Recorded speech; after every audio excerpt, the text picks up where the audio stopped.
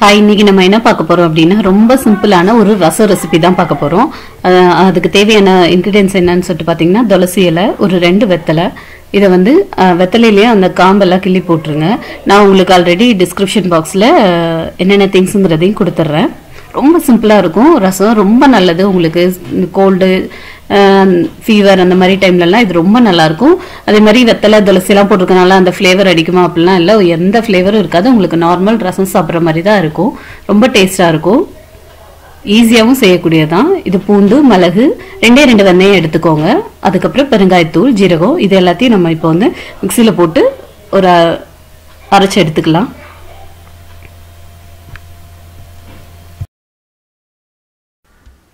இப்போ இதில் வந்து ஒரு சின்ன நெல்லிக்காய் அளவுக்கு புளியை வந்து கரைச்சி இதில் சேர்த்துக்கலாம்.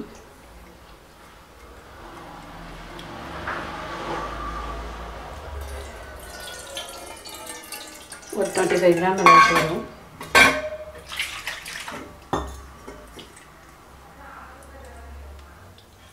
ஒரு ஹாஃப் லிட்டர் அளவுக்கு இது வந்து தண்ணி வந்து இதில் வந்து சேர்த்துக்கலாம். இப்போ இதில் வந்து நம்ம ஆல்ரெடி அரைச்சிருந்தோம் இல்லையா? அந்த அரைச்ச பேஸ்ட் இதில் ஆட் பண்ணிக்கலாம். அதுக்கு பிறகு ஒரு தக்காளி அதையும் வந்து இதோட நம்ம நல்லா பிழிஞ்சு விட்டுறலாம்.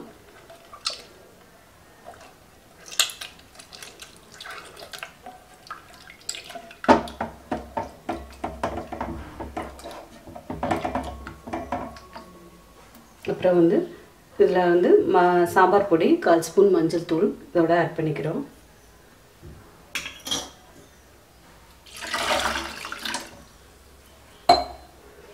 ரெண்டு வெத்தலை இது வந்து ஒரு ஹாஃப் லிட்டர் அளவுக்கு ரசத்துக்கு வந்து சரியாக இருக்கும். இதை நம்ம வந்து பாத்திரத்துக்கு ட்ரான்ஸ்ஃபர் பண்ணிடலாம்.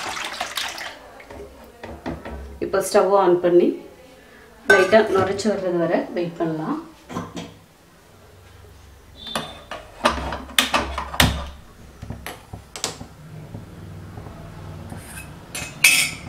ரசம் வந்து லைட்டாக நுரைச்சி வரணும் அவ்வளோதான்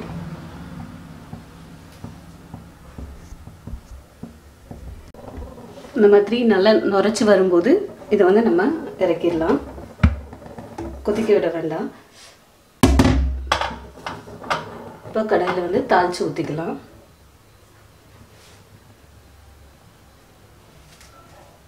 தாளிக்கிறதுக்கு வந்து ஒரு ஸ்பூன் அளவுக்கு எண்ணெய் வச்சுருக்கேன் மேக்ஸிமம் நல்லெண்ணெய் எடுத்துக்கோங்க. டேஸ்ட் நல்லாயிருக்கும் ரசத்துக்கு.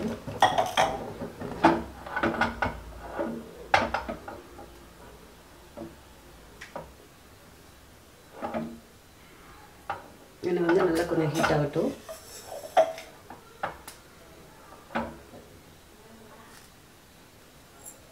கடுகு ஆட் பண்ணிடலாம்.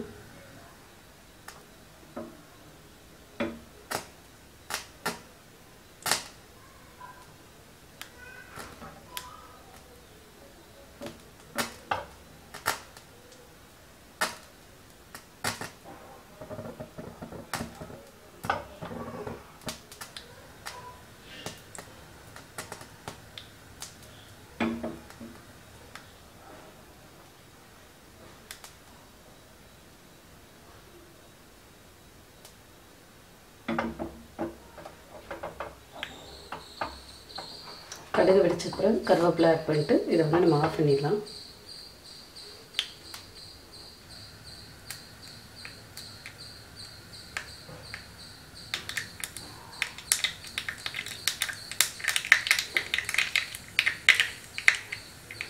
கடுகு நல்லா பொரிஞ்சிருச்சு கருவேப்பிலை இப்போ தாளிச்சு இதில் ப்ளஸ்